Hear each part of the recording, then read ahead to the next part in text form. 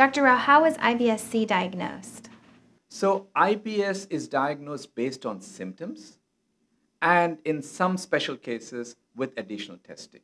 So most of the time, if you can take a good detailed history, a patient is reporting pain that has lasted for several weeks to several months, along with altered bowel habit, be it constipation or diarrhea, then that often clinches the diagnosis.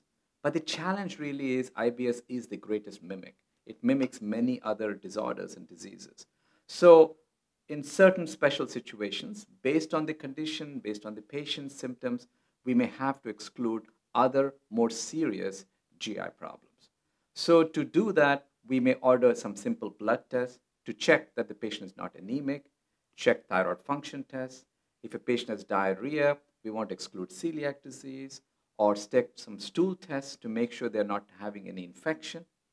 And if these simple tests are all normal, then usually along with symptoms, that clinches the diagnosis in the vast majority of patients.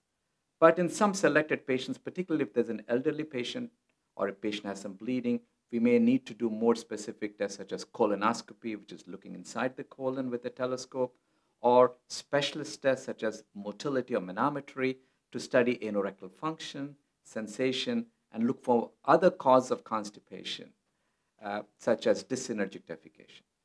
Another test that some specialists tend to do is a balloon distension test in the rectum to find out the cause, which is hypersensitivity in the rectum, which, as I said, is one of the key mechanisms that leads to IBS. So these are the common tests that we tend to do in our practice.